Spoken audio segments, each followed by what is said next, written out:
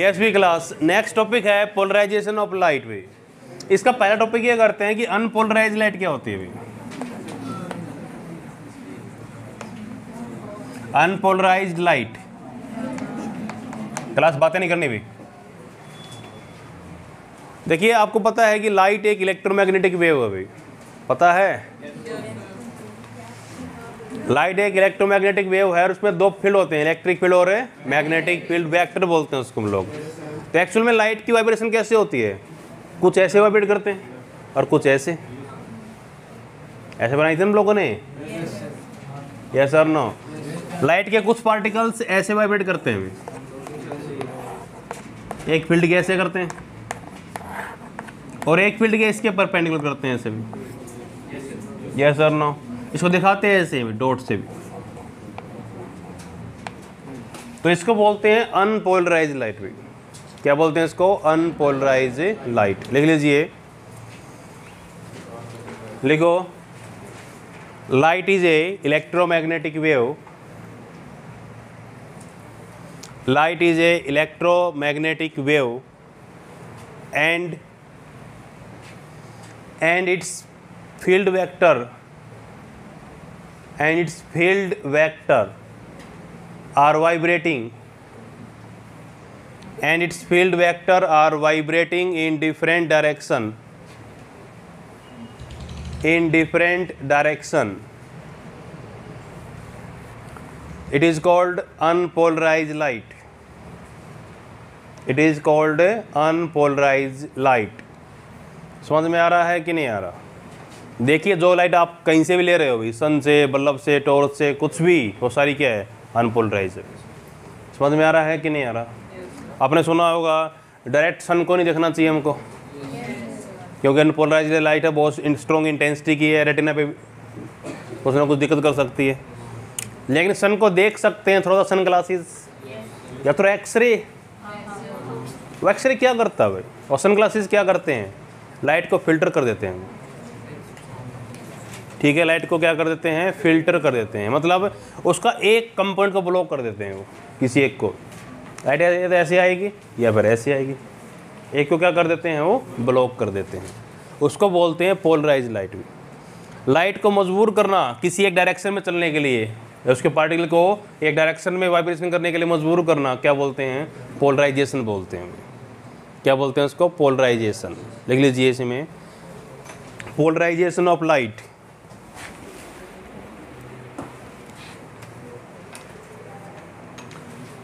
polarization of a light, like it is a phenomena. It is a phenomena in which we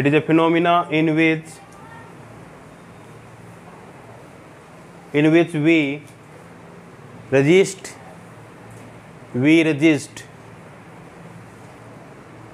the vibration of light. We resist the vibration of light into a into a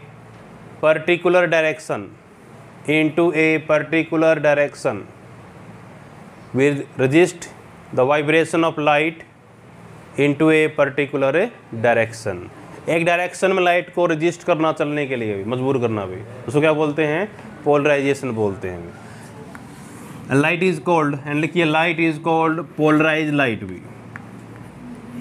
light is called polarized light light को क्या बोलते हैं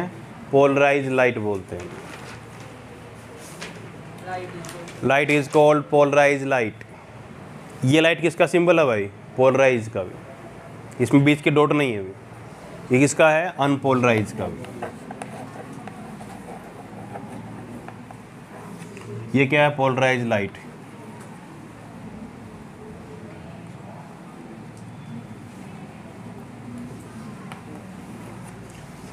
polarise light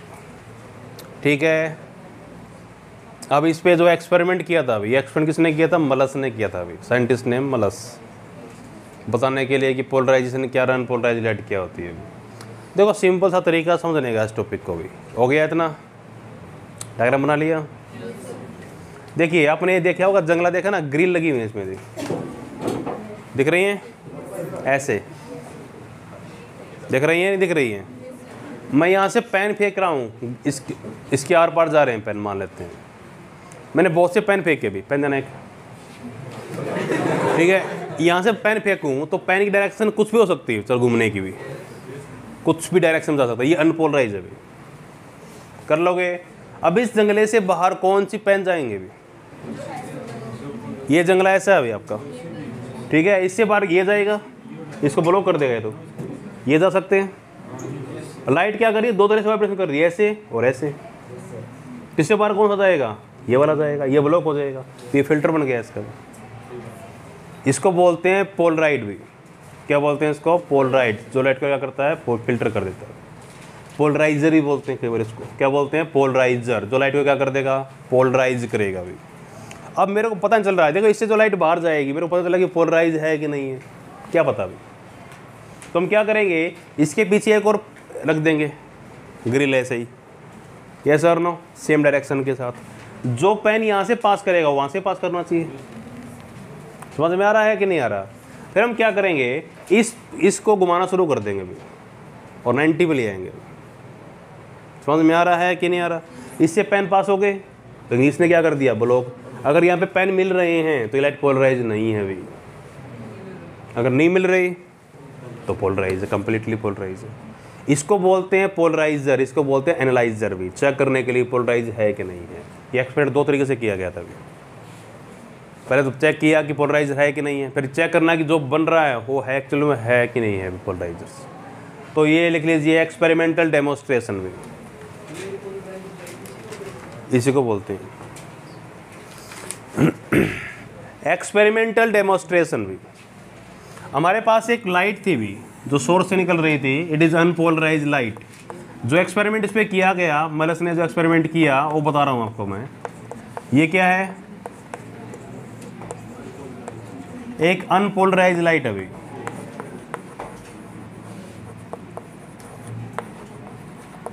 इसको पास करवाया गया कि crystal लिया है इन्होंने भी क्रिस्टल से पास करवाया गया क्रिस्टल किसका था वट इज क्रिस्टल भी क्रिस्टल क्या होते हैं किसी सब्सटेंस का प्योरेस्ट फॉर्म भी किसी सब्सटेंस का प्योरेस्ट फॉर्म किसका यूज़ किया क्रिस्टल टोरमिलिन्स का भी भी अंदर से भी बात नहीं अब ये क्या करेगा क्रिस्टल एक तरह की लाइट को क्या करेगा अपने अंदर से पास करने देगा अभी ठीक है अब यहाँ पे लाइट आ गई है ये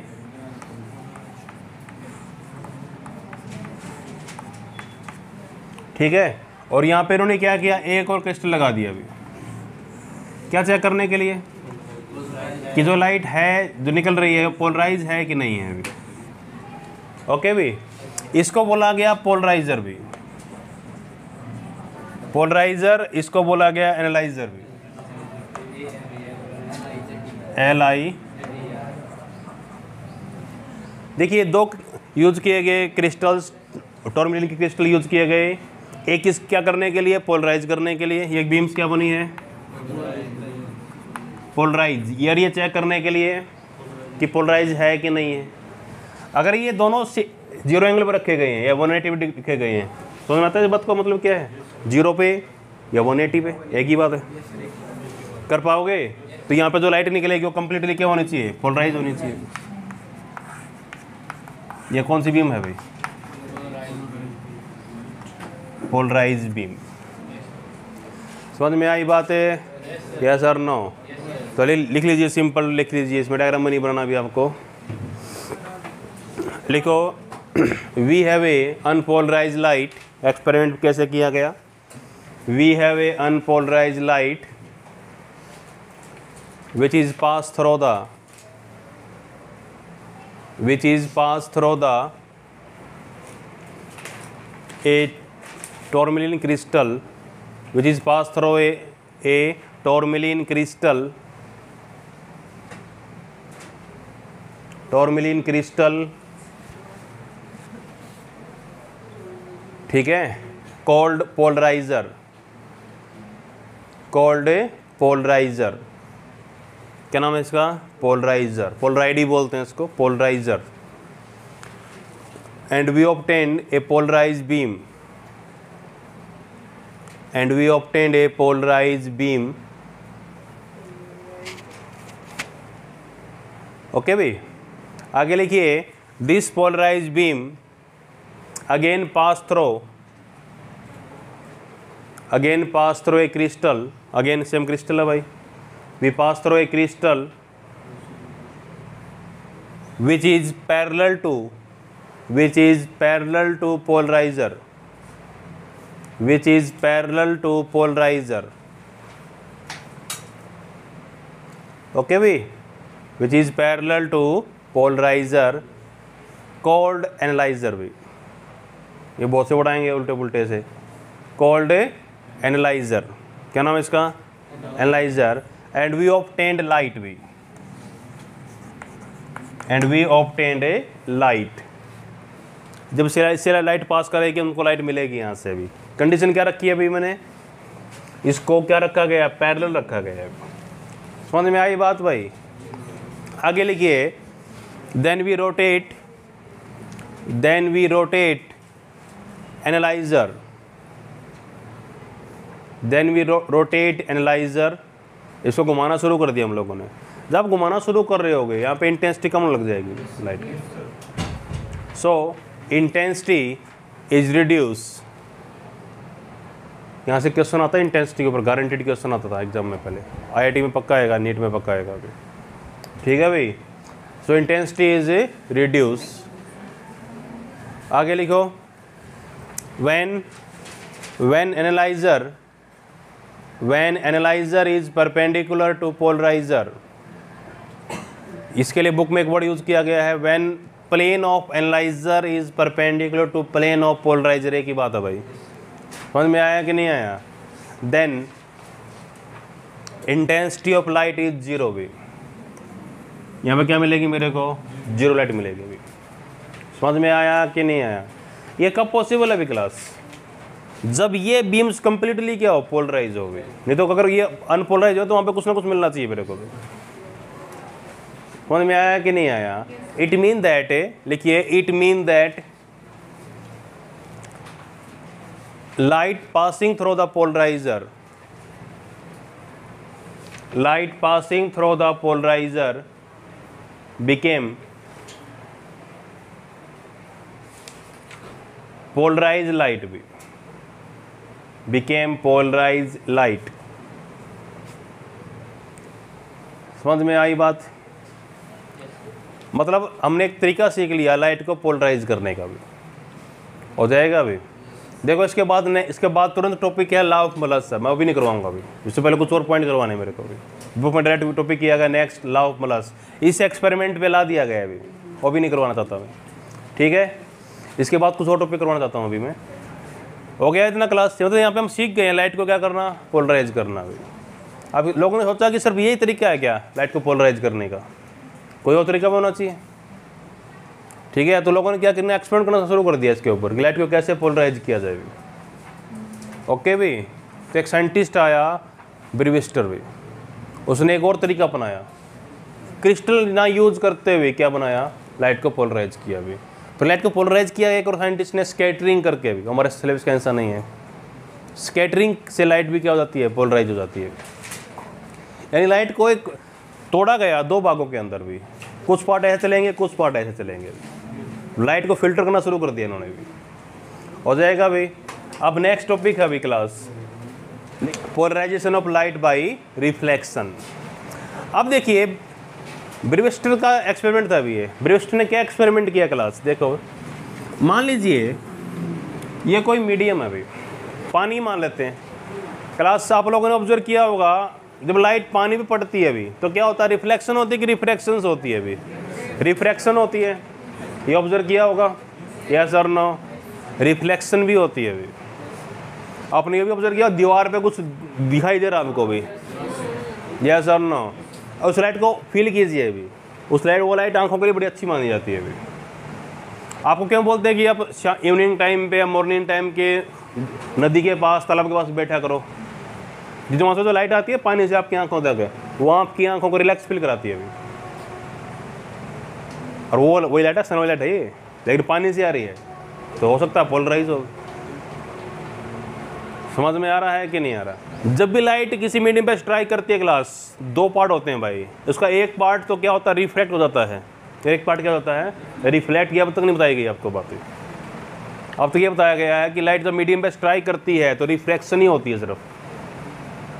समझ में आया कि नहीं आया तो लाइट का एक पार्ट क्या होता है रिफ्लेक्ट होता है एक पार्ट क्या होता है रिफ्रैक्ट होता है अभी ये बात आई थी प्रीवेस्टर ने भी ये लाइट आ रही है अभी क्लास ये एक अनपोलराइज लाइट है इसने एक्सपेरिमेंट किया इसके ऊपर भी देखो क्या ऑब्जर्व किया कि जहाँ पे लाइट स्ट्राइक कर रही है उसका एक पार्ट लाइट का रिफ्लेक्ट हो रहा है और एक पार्ट क्या हो रहा है रिफ्लेक्ट भी हो रहा है पानी से लाइट स्ट्राइक करती है दीवार पे पैटर्न बनता है अपना ऑब्जर्व किया हो तो यस सर ना तो वही पैटर्न है ये जो आपका दिखता है दीवार के ऊपर प्रॉब्लम क्या है अब क्वेश्चन है क्या ये बीम्स ये कौन सी बीम है रिफ्रैक्टेड बीम है भाई ये कौन सी है रिफ्लेक्टेड बीम इनमें से पोलराइज कौन सी है इसने ऑब्जर्व किया भाई ये बीम हर एंगल पे क्या थी अनपोलराइज थी ये पढ़ते हैं हम लोग अब तक ये बीम्स हर एंगल पे क्या थी अनपोलराइज और ये बीम भी अनपोलराइज ही थी भी हर एंगल के ऊपर अब इसने क्या किया एंगल ऑफ इंसिडेंट को चेंज कर दिया अभी लाइट ऐसे डाल रहे है ऐसे डाल रहा है ऐसे डाल रहे और ऑब्जर्व कर एक्सपोरेंट को ऑब्जर्व कर रहा है ये उसके एक ऐसा एंगल दिखाई दिया जिसपे लाइट क्या बन गई पोलराइज बन गई समझ में सिर्फ एक एंगल पे भी सभी एंगल पे नहीं है सिर्फ एक एंगल के ऊपर समझ में आ रहा है कि नहीं आ रहा ये एक्सपेरिमेंट था भी इसका उसने ऑब्जर्व किया कि ये खास एंगल के ऊपर के बीम क्या बन गई पोलराइज बन गई इस एंगल को नाम दिया गया एंगल ऑफ पोलराइजेशन इस एंगल को भी तो इससे बनी है ना यस सर नो ये क्या है एंगल ऑफ रिफ्लेक्शन ये क्या है एंगल ऑफ रिफ्लेक्शन एक ही बना लेते हैं कुछ तो वैल्यू होगी और एक और ऑब्जर्वेशन आई क्या ऑब्जर्वेशन आई जब ये बीम्स कंप्लीटली पोलराइज हो गई तो एंगल बिटवीन इस बीम और इस बीम में क्या बन गया 90 डिग्री बन गया इसका एक्सपेरिमेंट था समझ में आया कि नहीं आया अभी दो तीन पॉइंट यूज़ करने हैं आपको इसके ब्रिस्टर ला के अभी मैं आपको ला नहीं बता रहा हूँ ब्रिस्टर ला क्या है मैं आपको बता रहा हूँ एक्सपेरिमेंट क्या था कर लोगे दोबारा देखिएगा एक लाइट गिर रही है मीडियम के ऊपर भी ये क्या है कम्प्लीटली अनपोलराइज थी भी कुछ पार्ट क्या हो गया रिफ्लेक्ट हो गया कुछ पार्ट रिफ्लेक्ट हो गया अभी जो पार्ट रिफ्लेक्ट हुआ है वो कम्प्लीटली अनपोलराइज था भाई उनको कोई दिक्कत ही नहीं थी ये भी अनपोलराइज ही था स्टार्टिंग में तो उसने क्या किया इस एंगल को चेंज करना शुरू कर दिया अभी एक खास एंगल पे ये बीम्स क्या बन गई पोलराइज बन गई या सर नो इस एंगल को नाम दिया गया एंगल ऑफ पोलराइजेशन बोला गया अभी I P I I P लिखा है इसको मैंने ठीक है तो ये ऑब्जर्वेशन आई कि ये जो बीम है आपकी इसको ए ओ बी सी जो एंगल बनेगा बी ओ सी ये क्या था 90 डिग्री था अभी यानी एंगल ऑफ इंसी ये कौन सी बीम थी रिफ्लेक्ट बीम और रिफ्लेक्ट बीम में कितना एंगल बन रहा था 90 डिग्री ये था अभी आपका एक्सपेरिमेंट डायग्राम बनाओ इसका एक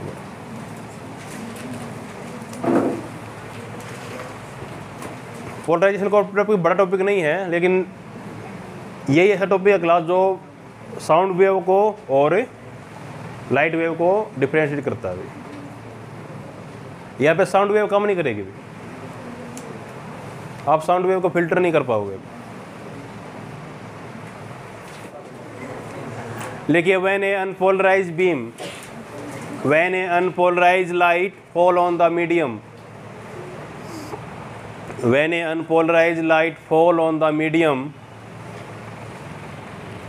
then one part then one part is refracted बातें नहीं करनी one part is refracted and one part is reflected one part is refracted and one part is reflected आगे लिखिए the refracted light the refracted light is unpolarized refracted light is unpolarized जो refractive light होगी वो क्या होगी unpolarise होगी भी हमेशा कर पाओगे and and a particular angle of incident and a particular angle of incident reflected beam reflected beam became polarized reflected became reflected beam became polarized okay this angle of incident is called this angle of incident is called angle of polarization this angle of incident is called angle of polarization क्या नाम दिया है इस angle को उन्होंने angle of polarisation इसका use करना मेरे को ला के अंदर भी कर पाओगे अब देखिए क्लास देखो एक बार दोबारा डायग्राम देखिएगा ये जो बीम है और ये बीम है क्या कर रही हैं रिफ्लेक्शन शो कर रही हैं तो ये एंगल एंगल बराबर नहीं होना चाहिए अभी I R equal to R ये भी आई पी होना चाहिए अभी यह सर ना कितना होना चाहिए आई पी और ये क्या है एंगल ऑफ रिफ्रैक्शन भी इसको आर मान लेते हैं ये था इसका एक्सपेरिमेंट के दौरान जो काम किया इन्होंने ठीक है अभी अब इसका एक्सपेरिमेंट था क्या अभी इसके लाज क्या बना इस एक्सपेरिमेंट से अभी तो लिख लीजिए नेक्स्ट पॉइंट बना गया इसका ब्रिविस्टर ला भी yes B class next topic है ब्रीविस्टर ला ये ला क्या बोलता है एक बार लिख लीजिए अभी सिंपल पॉइंट में लिखवा रहा हूँ आपको डायरेक्ट डायरेक्ट फॉर्म में लिखवा रहा हूँ इसको मैं देख लीजिए the tangent of the tangent of angle of polarization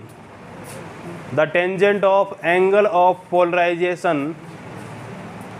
is always equal to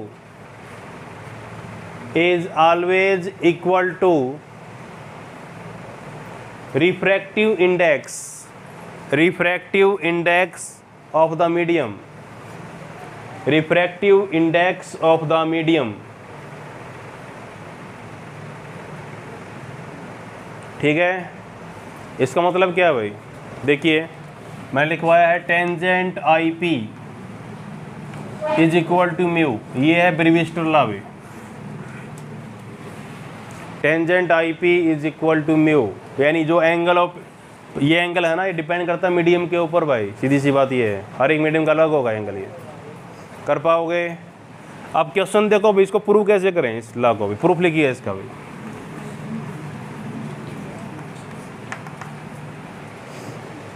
proof के दो तरीके हैं अभी क्लास फिर बता रहा हूँ आपको दो तरीके हैं या तो ला मान के ये प्रूव कर दो कि इनके बीच में एंगल कितना है 90 डिग्री ये एक्सपेरिमेंट है भाई तो ऑब्जर्व हुआ वैसी से है अभी अभी जब ये लाइट बीम्स क्या बन गई थी पोलराइज हो गई एंगल क्या ऑब्जर्व किया उन्होंने कि नाइनटी डिग्री का बन गया अभी ये ऑब्जर्वेशन है या इसको मान के प्रूव कर दो चॉइस तो आपका अभी समझ में आया दो तरीके हैं या तो ला मान के प्रूव कर दो या इसको मान के प्रूव कर दो बकवाड़ा क्या कर रहा है उल्टा कर रहा है इसको मान के प्रूव कर रहा है जो एक्सपेरिमेंट से हो रहा है इसका ठीक है तो क्या मान रहा है लिख लीजिए प्रूफ में लिखिएगा प्रूफ लिखो from the experiment from the experiment we observe that from the experiment we observe that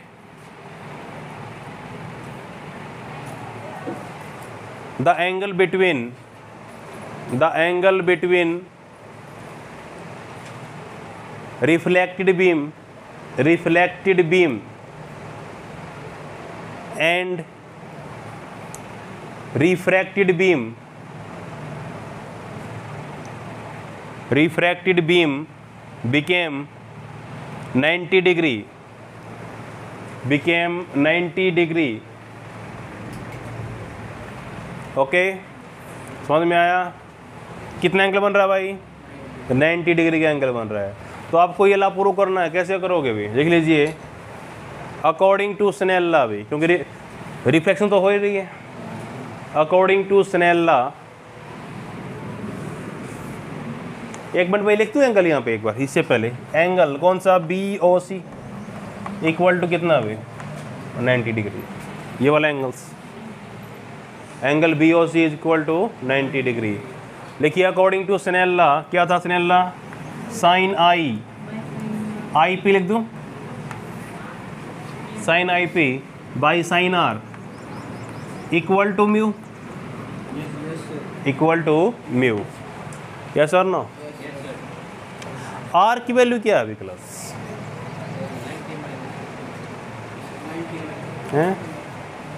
r की वैल्यू क्या है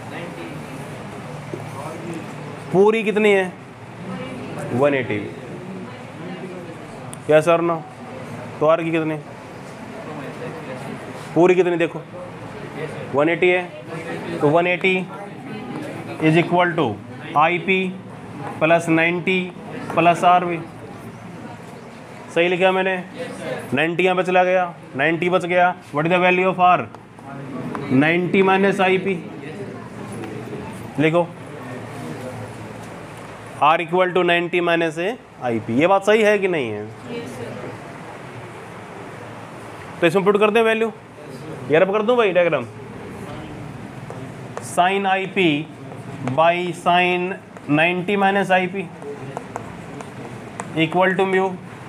ये क्या होता है कोस होता है भाई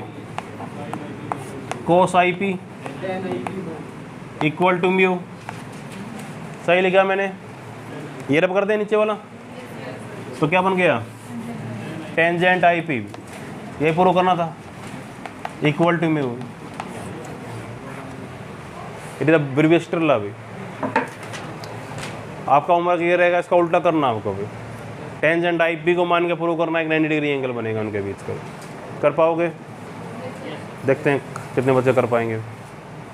आज इतना तो ही करते हैं क्लास नेक्स्ट टॉपिक है लॉ ऑफ मलस देखिए एक एक्सपेरिमेंट किया गया था पोलराइजेशन के ऊपर जिसके अंदर हम लोगों ने एक अनपोलराइज लाइट को पास करवाया था एक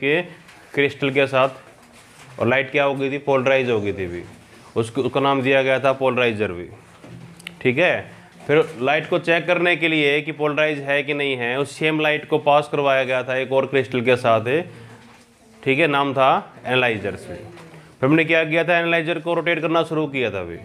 और ऑब्जर्व किया था कि एनालाइजर से जो लाइट जा रही थी उसकी इंटेंसिटी कम होना शुरू हो गई भी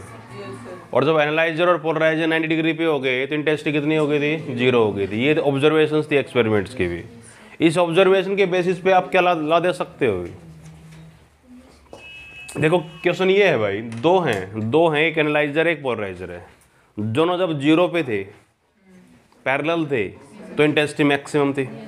90 डिग्री पे थे इंटेंसिटी मिनिमम थी भी किस को शो करता है कोस को शो करता है ये सर नो कि कोस 90 पे जीरो होता है और जीरो पे वन होता है ये सर नो फिर एक और प्रॉब्लम है भाई ये ये पोलराइजर है ये एनालाइजर है इसको उल्टा कर दो ऐसे 180 पे तब भी इंटेंसिटी मैक्सिमम है यस सर नो तो जीरो पे भी मैक्सिमम और 180 पे मैक्सिमम कॉस में तो पॉसिबल नहीं है जीरो में तो मैक्सिमम होगी 180 पे मिनिमम होगी भी माइनस वन यूज़ करते हैं अब माइनस वन को प्लस कैसे करें स्केयर करना पड़ेगा यस सर नो उस एक्सपेरिमेंट की ऑब्जर्वेशन पे बताया गया कि जो इंटेंसिटी मिल रही थी किससे एनालाइजर से मिल रही थी और डिपेंड करती थी स्क्वेयर ऑफ कोसाइन एंगल के भी किस कौन सा एंगल किसके बीच का एनालाइजर एंड ए पोलराइजर के बीच का सिंपल सा ला अभी समझ में आया इस पूरे एक्सपेरिमेंट की ऑब्जर्वेशन के बेसिस पे सिंपल सा टॉपिक किया गया it is called law of Malus समझ में आया कि नहीं आया अभी देखो कॉस्ट तो मिल रहा है पक्की बात अभी प्रॉब्लम क्या है वन एटी माइनस की वैल्यू आएगी प्रॉब्लम हमारे तो माइनस की नहीं आ रही अब उस मानस को ख़त्म करने के लिए क्या करना पड़ेगा उसको स्क्वेयर तो करना पड़ेगा अभी ठीक है तो लिख लीजिए क्या है it state that it state that when when beam of beam of completely when beam of completely plane polarized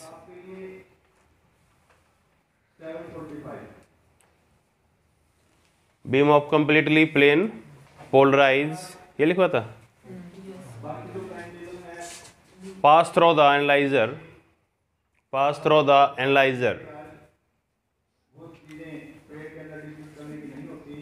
then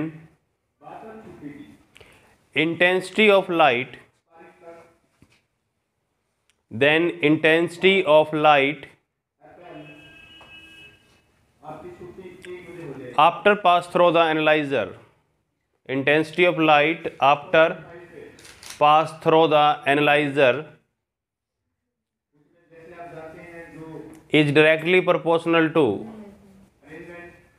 intensity of light after passing through the analyzer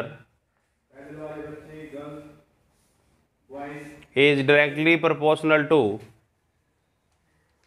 square of cosine angle directly proportional to square of cosine angle square of cosine angle of between analyzer and polarizer cosine angle between analyzer and polarizer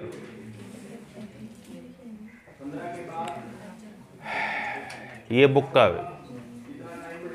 ठीक है और लिखो तुम्हारा चेहरा दिख रहे हैं अजीब सा लग रहे हैं लिखिए it state that it state that the intensity of it state that the intensity of polarized light intensity of polarized light after passing through the analyzer after passing through the analyzer is directly proportional to square of square of cos angle या cosine angle पूरा तो cosine नाम होता है उसका square of cosine angle between analyzer and polarizer between analyzer and a polarizer देखो ये लिखवाया गया अभी intensity I is proportional to cos square theta भी ठीक है जो इंटेंसिटी निकलेगी वो डिपेंड करेगी उनके एंगल के कॉस के स्क्वायर के पेपर भी कर पाओगे I is equal to I naught cos square theta I naught क्या है मैक्सिमम इंटेंसिटी भी आई नोट क्या है मैक्सिमम इंटेंसिटी देखो ये निकाला गया है टॉपिक ये भी पूरा करेंगे थोड़ा सा पॉइंट को ठीक है एक तो ये है सिंपल बाई थियोरटिकल सेक्शंस भी कैसे बना सकते हैं इसको कर लोगे अब आपके पास दो चीज़ें हैं भाई कौन कौन सी चीज़ें हैं एक एनालाइजर एक पोलराइजर है पहले लाइट पास की किससे पोलराइजर से ये पोलराइजर है भाई ये एनालाइज़र है इन्हें घुमा रहे हैं हम लोग तो कुछ तो एंगल बनाएंगे आपस में तो मैं कुछ एंगल ही बना लेता हूँ पहले मान लेते हैं ये आपका क्या है एनालाइज़र अभी क्या ये एनालाइज़र्स और ये क्या है पोलराइज़र कुछ तो कैसे भी तो एंगल तो होंगे सही है कि नहीं है एक एनालाइज़र है क्या है पोलराइज़र अब ये देखिएगा जब लाइट एनालाइज़र से पास करेगी तो एक चीज़ ब्लॉक कर देगा वो एक तो उसी के अकॉर्डिंग पास करेगी अगर ग्रिल ऐसी हैं तो लाइट ऐसी ही जाएगी यस सर नो तो जो एक वेक्टर होगा देखो भाई दो वेक्टर हैं लाइट के पास इलेक्ट्रिक फील्ड और मैग्नेटिक फील्ड कोई एक तो ब्लॉक होगा पक्की बात है यस सर नो मान लेते मैग्नेटिक ब्लॉक हो गया तो इलेक्ट्रिक तो आएगा कैसे आएगा in the direction of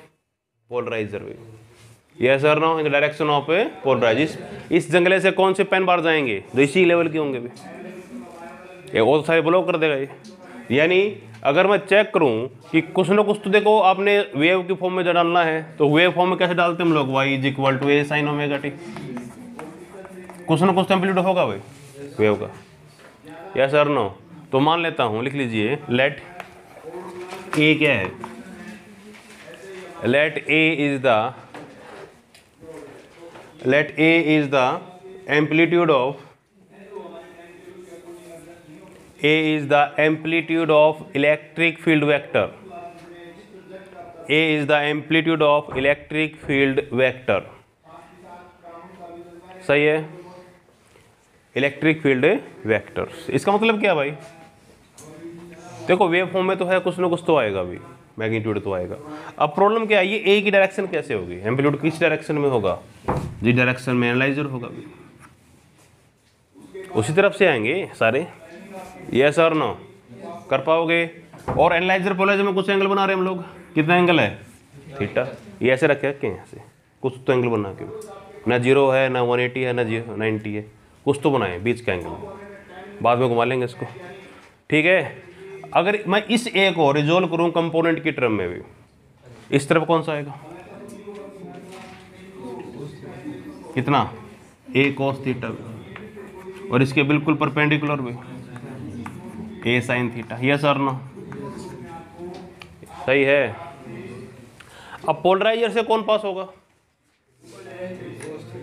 light कौन सी लाइट पास होगी जो इसी डायरेक्शन में होगी भाई इनिशियली तो मैंने पास करवाई थी लाइटें तो ये वाला इस ब्लॉक कर देगा ये पोल्ट्राइजर इसका कोई काम नहीं है अभी तो पास कौन सी होने वाली है यही पास होने वाली है यस सर ना तो ये ये ए कोस थीटा क्या है एक्चुअल में पता आपको इट इज़ द इंटेंसिटी या it is the amplitude of output wave through the polarizers wave A cos theta है ए क्या था जो इससे पास करके आई थी उसका ये था और ये क्या है कोस्टिटा क्या है जिससे पास होकर जाएगी यस सर नो आपको पता होना चाहिए इंटेंसिटी क्या होती है is proportional to amplitude square में यस सर नो तो इंटेंसिटी इससे जो पास करेगी पी उसका वैल्यू कितना होगा अभी डायग्राम बनाओ एक बार उसके बाद करते हैं देन इंटेंसिटी इज इंटेंसिटी क्या होती है प्रोपोर्शनल टू एम्पलीट्यूड स्क्वेयर भी ये बात सही है कि नहीं है तो आई प्रोपोर्शनल टू कितना ए कोस थीटा का स्क्वेयर भी सही लिखा है क्वेश्चन डालिएगा आई is equal to K A square cos square theta भी सही है कि नहीं है यस और नो क्वेश्चन ये है आई मैक्सिमम कब होगी आई इज मैक्सिमम और आई मैक्सिमम क्या लिखते हैं हम लोग इसका एम्पलीट्यूड लिखते हैं भाई आई नोट कब होगी जब कॉस थीटा मैक्सिमम होगा और तो कोई दिक्कत ही नहीं है और कितना होता है वन होता है मैक्सिमम ये सर नो वैल्यू बता रहा हूँ मैं ठीक है कितना होता है वन अगर इसको वन कर दूँ तो कितना आंसर आएगा आई नॉट का ये आई नॉट हो गया भाई आई नॉट हो गया इज इक्वल टू के ए स्क्र यानी मैं के ए स्क्र से क्या ले सकता हूँ आई नॉट लिख सकता हूँ तो मेरा आंसर क्या है I is equal to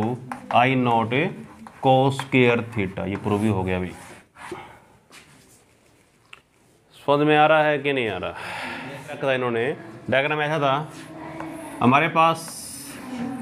तीन पोल लगा रखे हैं अभी कितने पोलराइड हैं थ्री पोलराइड्स हैं ए बी सी ठीक है at sixty degree to each other भी 60 degree to each other question ये था what is the intensity of light after passing through the C intensity of light after passing through the C यहाँ पे आई intensity रखी थी initially I note भी मुश्किल नहीं था लेकिन डायग्राम दे रखा था अभी तो वो उड़े हुए थे पता नहीं क्या दे रखा है अभी ये डायग्राम था सेम भी क्वेश्चन ये था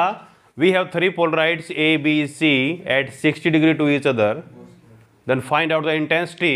of light after passing through the C we simple line में बिल्कुल सिंपल क्वेश्चन दे रखा था अब दिक्कत क्या है करो इस क्वेश्चन को सॉल्व अब ये है भाई ये इंटेंसिटी आई जा रही है इस तरह के क्वेश्चन आई में भी आते हैं भाई और घुमा घुमा के पूछेंगे एक फोर्टी फाइव पे एक थर्टी टू डिग्री क्या दिक्कत पड़ती है कोई दिक्कत नहीं है हमको बेसिक पता था देखिए यहाँ से इंटेंसिटी जब लाइट पास करेगी ए से क्या होगा भाई इंटेस्ट में क्या फ़र्क पड़ेगा फोर्थ कैसे होगी किसके सिक्सटी डिग्री तो, तो पहला सिक्सटी डिग्री किसकी है किसी की नहीं भाई तो एक अकेला हो तो तीनों तीनों एक दूसरे के हैं ना हाँ। तो ये किसके साथ है ये एक पहला एक ही है मेरे पास दो बोलो तो क्या होगा इसको हाफ करेगा भाई दो दो वेक्टर हैं एक को ब्लॉक कर देगा उसे टाइम भी एक बचेगा सिर्फ उसका इंटेंसिटी पहले से क्या हो जाएगी पहले ये हाफ हो जाएगी ये किसको पास करने देगा सर बीस वालों को इनको उसी टाइम ब्लॉक कर देगा ये तो इंटेंसिटी हाफ होगी भी दो तरीके जाने की लाइट के एक ऐसा एक ऐसा एक को ब्लो कर दिया एक बच गया सिर्फ तो इंटेंसिटी पहले से क्या होगी हाफ इसको कि, यहाँ पे कितना इंटेंसिटी आया आई नोट वाई टू सही है कि नहीं है एनी से इसने लाइट को पोलराइज कर दिया भाई यहाँ अब इनके बीच में कितना एंगल है सिक्सटी डिग्री है अब इसके लिए ये क्या है मैक्सिमम है इसके लिए क्या है मैक्सिमम तो यहाँ पे कितना पास करेगा फार्मूला क्या है I is equal to I naught cos square theta yes sir no यहाँ पे भी कितना जाएगा इसका मैक्सिमम कितना है तो आई कितना होगा आई नोट बाई टू इसका मैक्सिमम है इससे ऊपर जाने था yes sir no cos square कितना था सिक्सटी डिग्री कॉस सिक्सटी कितना होता है वन बाई टू तो कितना हो गया वन बाई फोर तो कितना हुआ आई नोट बाई एट भी यस सर नो तो यहाँ पे मैक्सिमम कितना आई नॉट वाई एट आएगा ये इसके लिए मैक्सिमम है यस सर नो तो इसकी इंटेंसिटी कितनी होगी सी के लिए I C is equal to I C ले लूँ मैक्सिमम कितना है I naught by eight formula वही लगा रहा हूँ भाई cos square sixty degree again तो वन बाई फोर तो आठ कितना हुआ बत्तीस दिस इज द आंसर पहले तो पहले तो हाफ करेगा सीधी सी बात है ये सर नो अगला एंगल के अकॉर्डिंग इसमें फर्स्ट में क्या यूज कर रहे हो सर आप एम वाला लो तो यूज नहीं करे जो इंटेंस देखिए एक एक सिर्फ आपके पास पोलराइजर अभी हाँ, तो क्या क्या करेगा लाइट आ रही है हाँ, दो वेक्टर में है हाँ, इलेक्ट्रिक और मैग्नेटिक किसी हाँ, एक को ब्लो करेगा अभी करेगा एक ब्लो करते ही हाफ हो गया उसकी इंटेंसिटी हमेशा होगा बिल्कुल एम्पलीट्यूड किससे बना है ई एम वेव का दोनों के एम्पलीट्यूड के स्क्वायर से बना है एक तो जीरो ही हो गया तो बच गया कौन एक ही बच गया उसका अकेला क्या करेगा हाफ करेगा भाई यस और ना अब दो के हिसाब से करेंगे अब दो को हम घुमा रहे हैं भाई अब यहाँ पे चेक कर लें हम लोग ये तो दो के अकॉर्डिंग कर रहा है सारा तुम समझ में आ रहा है कि नहीं आ रहा ये क्वेश्चन एग्जाम में इस तरह क्वेश्चन आते हैं भाई एक क्वेश्चन और लिखिए क्वेश्चन लिखिए two polarizing sheet two polarizing sheet are placed two polarizing sheet are placed with their planes with their plane parallel with their plane parallel so that so that light intensity transmitted so that light intensity transmitted is maximum okay light intensity is maximum हो गया आगे लिखिए through what angle through what angle must either sheet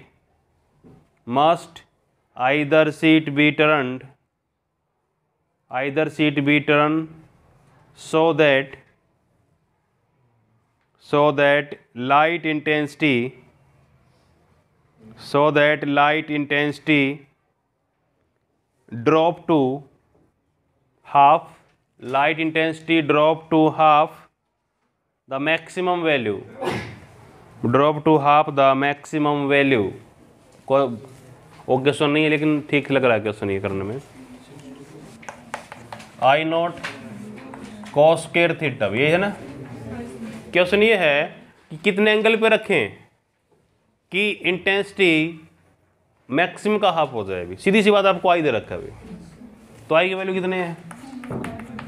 I naught by two इतना करना मेरे को angle निकालना भाई कोई तो बड़ी बात नहीं होनी चाहिए तो कितना आएगा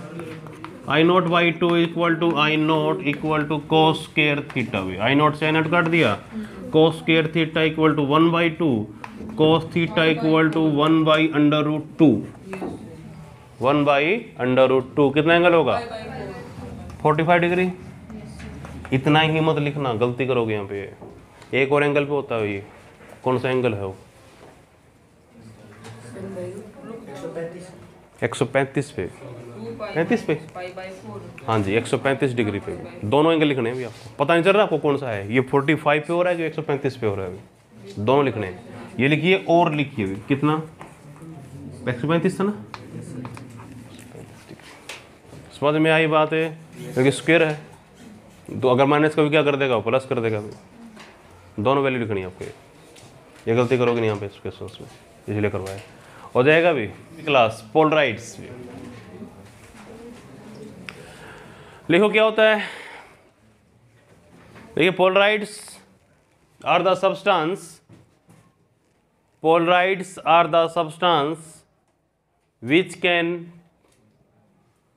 which can polarize the light which can polarize the light simple है भाई जो सब्सटेंस किसको क्या करें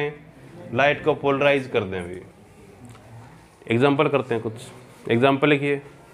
लिखिए नेचुरल पोलराइड नेचुरल पोलराइड्स एक हमने यूज़ किया हुआ है क्रिस्टल किसका क्रिस्टल था वो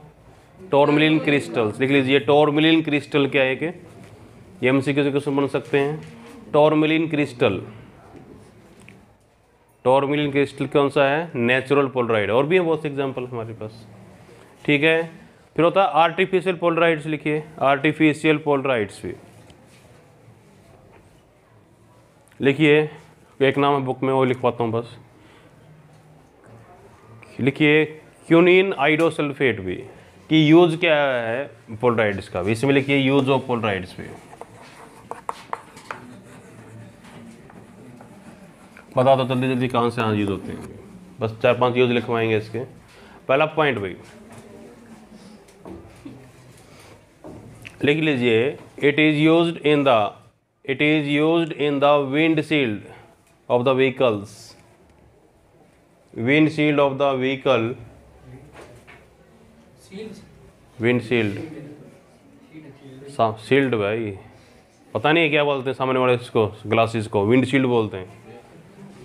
जो हवा से हमको क्या करती है प्रोटेक्ट करती है अभी windshield of the vehicles to avoid the to avoid the glare G L A R E glare of light इसी में to avoid the glare of light glare क्या होती है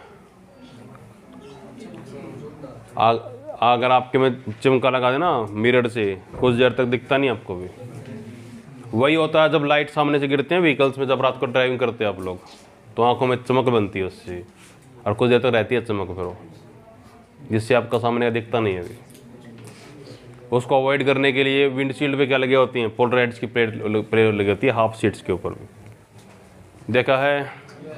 यस सर नो दूसरा आगे लिखिए it is use in the sunglasses भी it is use in the sunglasses same example इसका भी है किसके अवॉइड करने के लिए गैलरी ऑफ लाइट्स को भी it is use in the sunglasses अच्छे क्वालिटी के लेके आओगे तो उसमें होता है भी ठीक है आगे लिखो